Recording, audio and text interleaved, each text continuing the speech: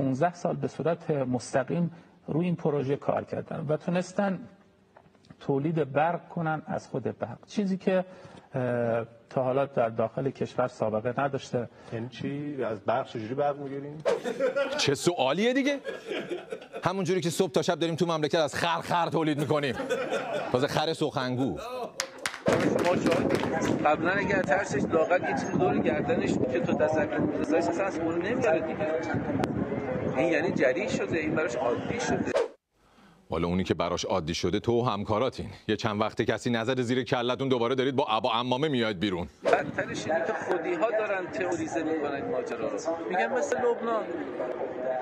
یه خانم با چفی و با بخش و اینا قشنگ کنار یه خانم که نیمه اوریانه با هم میرن دانشگاه میان چه داره؟ آخه نکته سوزناکش اینجاست.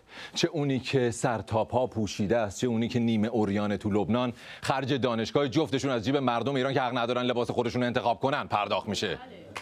دشمن گفتم مهمترین هدفش امروز در 1401 می‌خواد در جامعه دو قطبی ایجاد کنه.